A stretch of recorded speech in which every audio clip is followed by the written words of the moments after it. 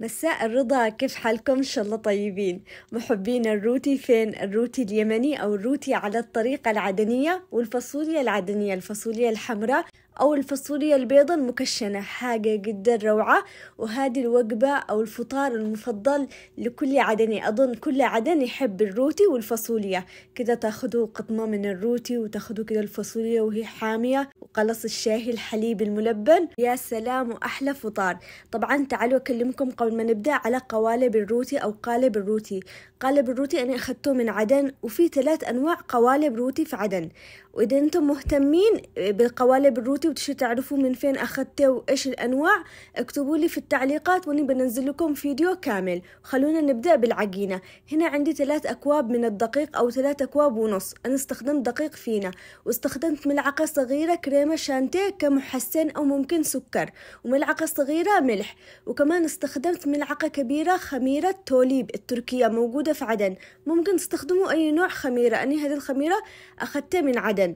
عشان واحد كلمني اللي يعمل الروتي هو علمني. ومخبز هم اللي علموني الروتي. فقالوا لي استخدموا خميرة توليب. واستخدمت كمان ماء عادي بحرارة الغرفة. إذا كان الجو بارد استخدموا ماء دافي. عجينة طرية وتتلصق باليد. أنتم بتشوفوا كيف العجينة كيف طرية. طبعا هم اللي علموني أعمل الروتي. الصراحة مخبز أنا ما بذكرش اسمه بس عطوني الطريقة وعلموني كيف أعمل الروتي. الله يعطيهم العافية وتعلمت منهم فعلا وضبطت الروتي حق عدن بالضبط ضبطته. بعد كده شوفوهم ولا يضيفوا أي قطرة زيت. خلص على الطحين بس. والعجينة شوفوا كيف طرية وحاولوا تعجنوها كل ما عجنتوها أكتر كل ما طلعت أحسن. خلص بعد كده خلوها حاولوا إنكم ترشوا طحين. انتبهوا لا تعملوش ولا أي زيت يكون فيها. الزيت فقط يندهن في القالب. خلص بعد كده عجنته تمام وحاولت إني أحط من تحت طحين أرش عليها دقيق من تحت وكمان أرش عليها دقيق من فوق عشان ما تتلصقش معايا لما تتخمر. بعدين أغطيها تمام غطوها تمام تماما وخلوها تتخمر لما يتضاعف حجمه يمكن تاخد ساعة تقريبا أو نص ساعة على حسب الجو حرارة الجو. طبعا أنا خليتها شوفوا غطيتها بكيس عشان تتخمر معايا بسرعة بعدين كده بفوطة وخليتها تتخمر. ما شاء الله بعد تخمرت أخذت مني الصراحة آه تقريبا 30 دقيقة. وما شاء الله وبدأت حسيت إن العجينة خلاص شوفوا ما شاء الله كيف طرية. كل شغلي بيكون بالدقيق زيهم هم يشتغلوا فقط بالطحين. خلاص طلعت العجينة والآن ببدأ أقسم العجينة. شوفوا بحكي لكم حاجة أنا بديت أقسم العجينة بالميزان. علشان تطلع لي الكرات كلها متساوية تقريبا. آه ويطلع لي تمام في القالب. أنا شوفوا الوزن طلع لي لما جيت أوزن العجينة كامل طلعت لي 822 جرام. وزنه. فأني بقسمها قسمة ثمانية يعني تطلع لي من مية واتنين جرام. بس أنا قسمته كله مية جرام خليته كله مية جرام والباقي اللي زادت مني العجينة عملته خبز عادي خبز صاج. لكن تمام يعني يطلع لكم وزن العجينة الكرة. لو بتعملوها مية جرام تسعين جرام خمسة وتسعين جرام بتطلع كده حلوة يعني كبيرة. قرص خبز يكفي يعني الواحد يلا ياكل لكم قرصين خبز آه خبز قرصين روتي قصدي وخلاص يشبع.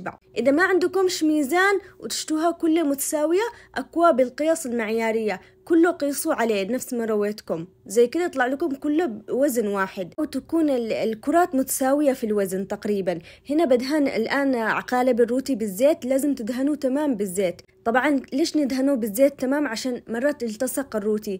فأنتم أهم حاجة تدهنوا الأركان. آه أني زاد عليه قليل زيت من تحت بس مش مشكلة. عادي بتشوفونه بعدين لما يخرج.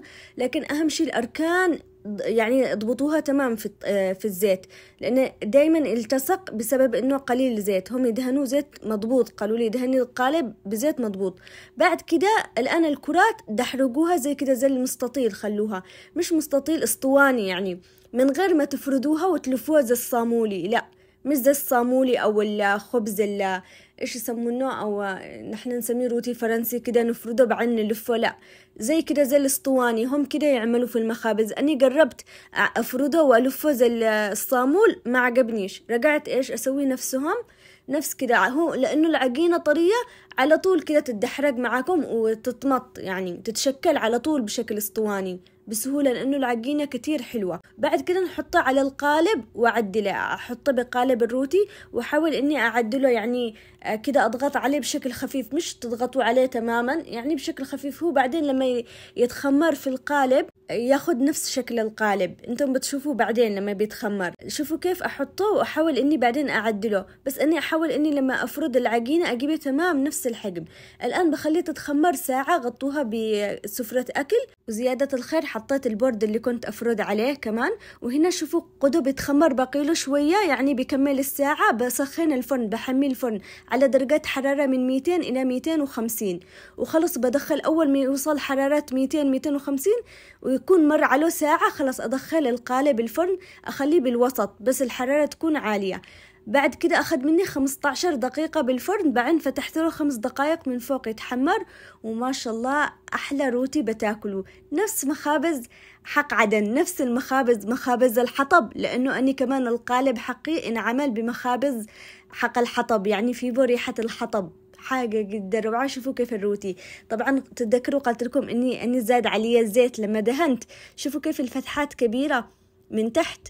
شوفوا كيف لما كان القالب لأنه الزيت كان بزيادة عشان كده حتى إنه تحمر أكتر. عادي مش مشكلة يعني هو ما يتغيرش الطعم.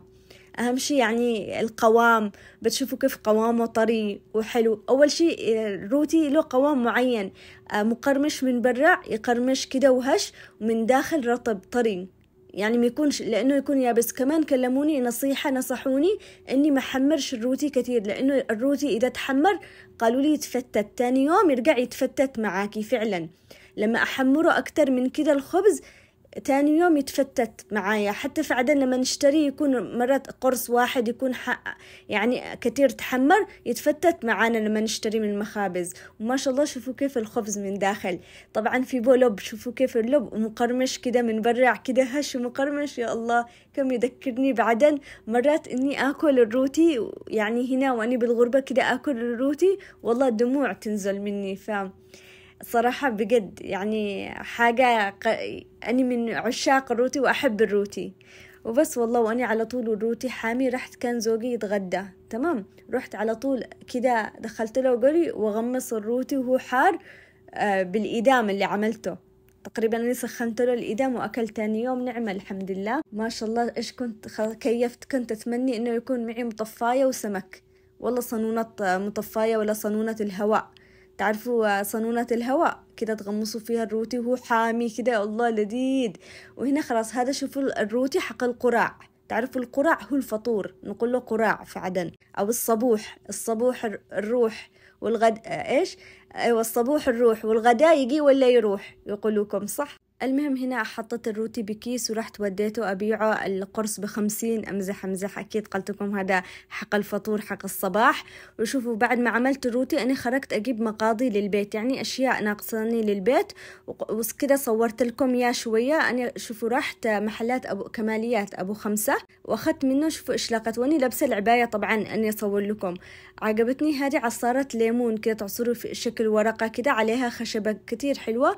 وأخذت lunch box عشان أعمل لكم آه، فطار عدني آه، بال lunch box. شوفوا كيف. أخذت الشكلين وأخذت هنا فاصوليا حمراء وفاصوليا بيضة بالصوص الأحمر. ويلا هنا نعمل الفاصوليا الحمراء اللي بالصوص الأحمر البيضة اللي بالصوص الأحمر.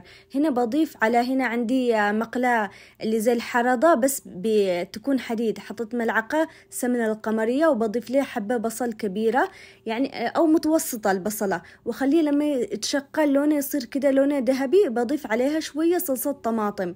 هي اختياري بس تطلع مع الكشنة حلوة لأني بستخدم قلت لكم الفاصوليا اللي في الصوص الأحمر. وكمان بضيف في الصين من الثوم كشنوه تمام تمام. أهم حاجة التكشينة. شو تطلعوا فاصوليتكم حلوة؟ التكشين التكشين. اهتموا بالتكشين. وخليه يتكشن الثوم مع صوص الطماطم كده. كمان ضيفوا عرق فلفل أو قرني فلفل يعطي طعم حلو لما أنتم كده تحمصوا الثوم وصلصة الطماطم. بعدين بضيف الطماطم مفرومة. آه، مفرومة ناعم كده قلبوها كده مع بعض.